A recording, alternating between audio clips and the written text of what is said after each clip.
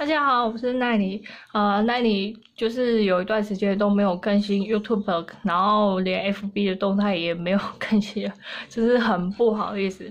对，因为前一阵子工作比较忙，然后我身体又不太舒服，所以就就是比较没有心思去经营其他的事情这样。那我今天想要跟大家分享，就是就是这个口罩，这种立体式的口罩，这种口罩我之前也有分呃分享说，你要怎么去画画它的版型，只是这个这是比较简单的口罩，你看它，你看它的版型就其实还蛮简单，你可以放在桌上，然后照它的形状这样描起来就可以了。对，所以它其实没有很这个这个版型其实没有很困难的。然后我有呃，可是它它有一个缺点，就是它上面这个这个地方，呃，因为它这里没有穿铁丝，所以你在戴的时候，它会觉得有点松松的。然后然后我又很不喜欢把松紧带剪很短，然后整个好像把你的脸颊勒紧这样这样子的感觉。对我其实我不太喜欢这样，而且天气又热，我就觉得好像。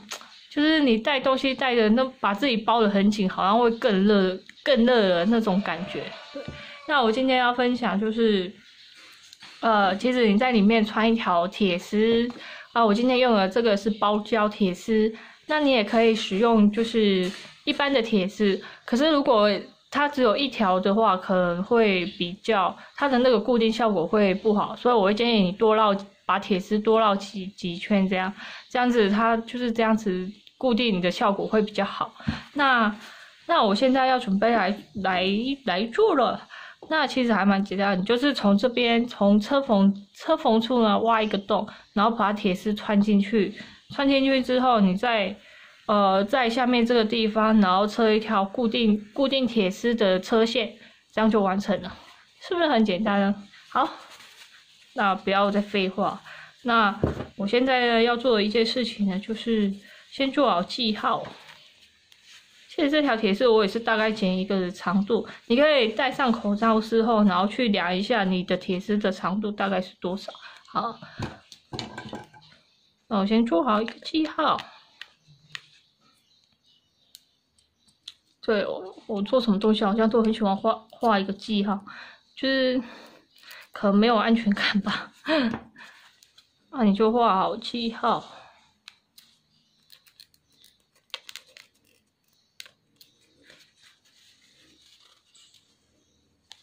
好，画好记号之后呢，就开始拆它的车线了。如果你没有那个没有缝纫机的人，你也可以尝试用手缝。那手缝其实没有很，就是需要一点耐心呢。对，好，那我只要挖一个小小的洞就好了。对，不需要太大的洞。那你就把把你刚刚挖的这个洞打开就可以了。我刚拆拆的是表面的压线，不是里面的侧线。哎呀，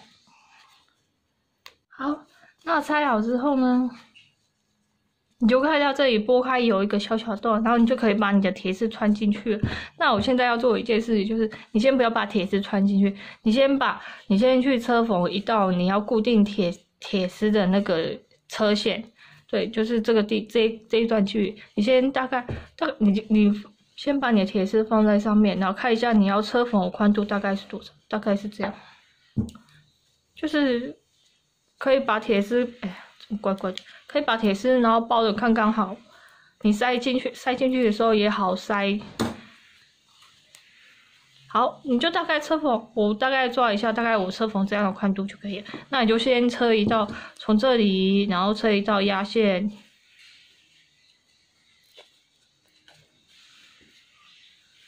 车一道压线，然后大概呃车到对，你可以车一个么字形，这样一圈么字形，然后车好之后再把铁丝放进去，放进去之后呢，你再把再把最后这个封口的地方车缝起来就可以了。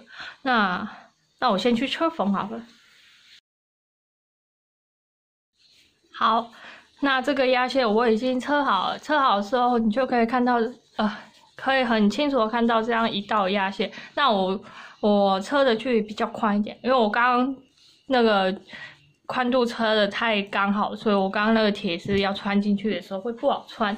那你也可以先把铁丝穿进去，然后再再测外面这一道压线，也也是可以啊。然后就是看你自己好不好用。